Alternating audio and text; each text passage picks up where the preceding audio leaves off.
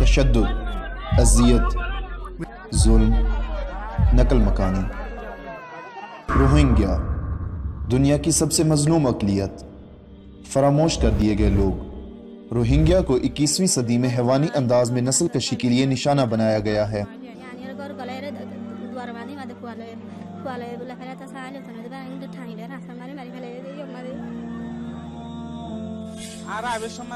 راستے میں ہم نے بہت سے مرے ہوئے لوگوں کو دیکھا۔ ان کے سر اور دوسرے عز کٹے ہوئے تھے۔ یہ قتل و غارت ہر ایک گھر میں کی گئی تھی۔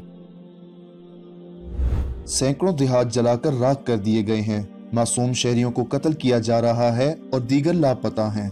بہت سے لوگوں کو زبردستی ان کے اپنے گھروں اور زمینوں سے نکالا جا رہا ہے۔ دس لاکھ سے بھی زیادہ روہنگیا پناہ گزین جان بچانے کے لیے قریبی ملک بنگلہ دیش کی طرف چلے گئے ہیں جبکہ بہت سے پیچھے بیار و مددگار ہیں۔ بےدت سورج کے نیچے جلسا دینے والی گرمی سے اس بچے کی جلد چپنے والی چھوٹی مرض میں مبتلا ہے۔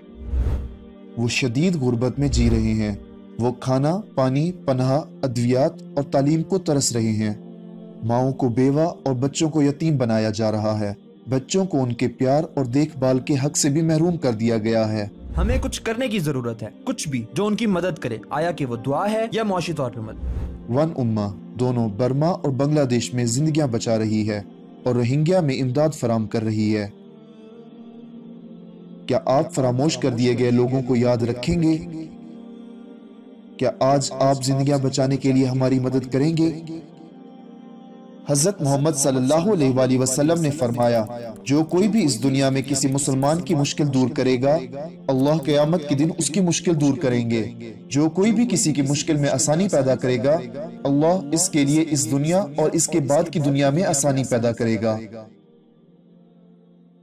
Donate now.